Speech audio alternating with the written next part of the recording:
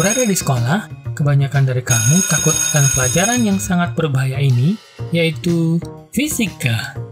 Menjadi salah satu mata pelajaran yang memiliki banyak angka, yang terlibat di dalamnya hanya tampak seperti monster yang tidak terlalu disukai banyak orang. Tetapi, ilmu fisika adalah ilmu yang memiliki fakta menarik loh. Jika kamu ingin tahu info menariknya, simak video ini sampai akhir ya. Jangan lupa subscribe jika kamu tidak mau ketinggalan info unik dunia pengetahuan dalam bentuk animasi berikut ini.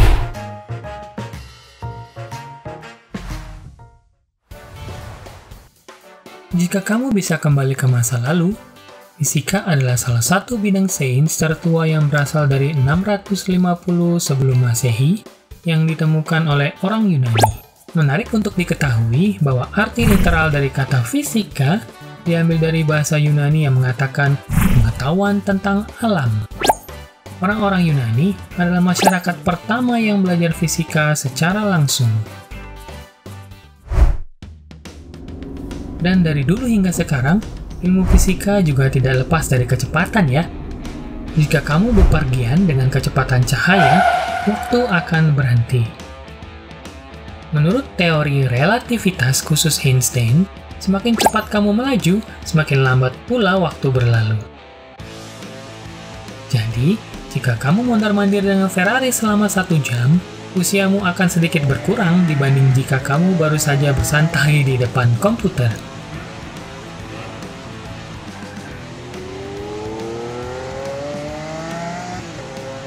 Kamu bisa bayangkan, jika karakter The Flash ada di dunia nyata, dia akan menjadi yang paling awet muda ya.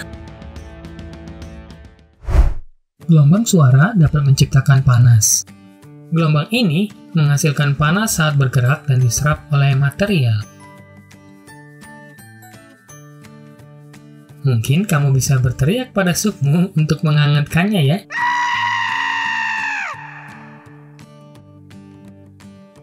Gelombang suara memang menciptakan panas, namun jumlah energi yang dibawa oleh gelombang suara sangat kecil. Sehingga, jumlah panas yang dihasilkan biasanya tidak signifikan. Sehingga efeknya tidak akan terlihat. Jadi kamu lebih baik menggunakan kompor saja ya, atau microwave untuk menghangatkan suhu.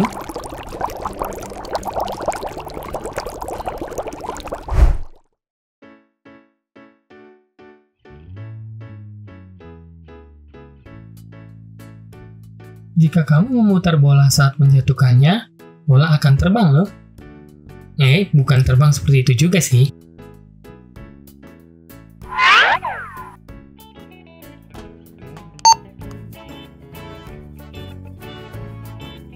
Ketika bola basket dijatuhkan tanpa diputar pada ketinggian 126,5 meter, bola tampak jatuh tidak jauh dari posisi bola tersebut dijatuhkan.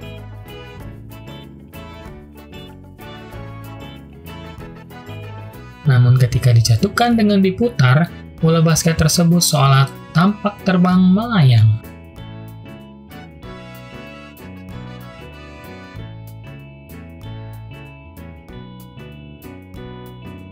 Ini berkat efek Magnus yang terjadi ketika udara di sisi depan benda berputar menuju arah yang sama dengan putarannya, yang berarti ia terseret bersama dengan benda dan dibelokkan ke belakang.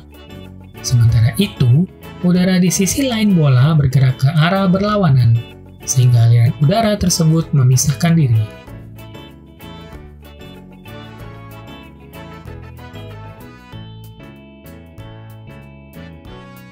Efek Magnus ditemukan oleh Heinrich Gustav Magnus pada tahun 1852. Lalu pertanyaannya, digunakan buat apa ya efek Magnus ini? Kalian percaya tidak?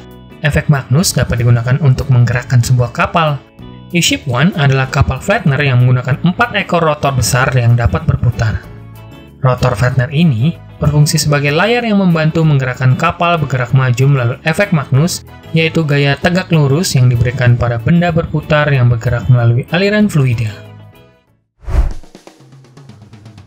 Ada satu lagi cara alam untuk membuktikan bahwa fisika itu keren loh, yang ditunjukkan di Laut Mati yang merupakan salah satu keajaiban.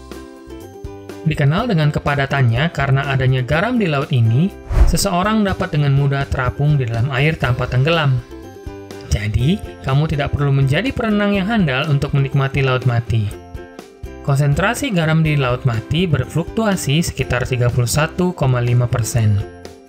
Semakin banyak garam yang larut dalam air, semakin padat jadinya. Benda yang jatuh ke air berhenti tenggelam saat mereka memindahkan massa yang sama dengan massa tubuhnya.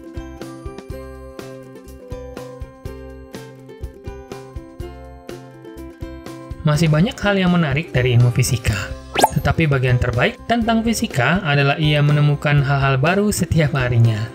Jadi jangan berhenti belajar ya dan tetaplah di Good News karena akan selalu ada berita baik setiap harinya. Sampai jumpa.